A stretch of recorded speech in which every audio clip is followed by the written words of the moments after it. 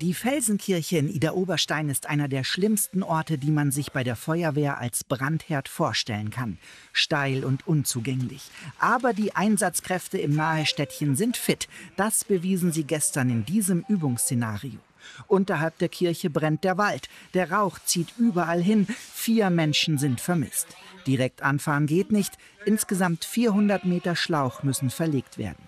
Die körperliche Belastung ist hier ganz extrem durch den langen Anmarsch für die Feuerwehrkameraden und Kameradinnen.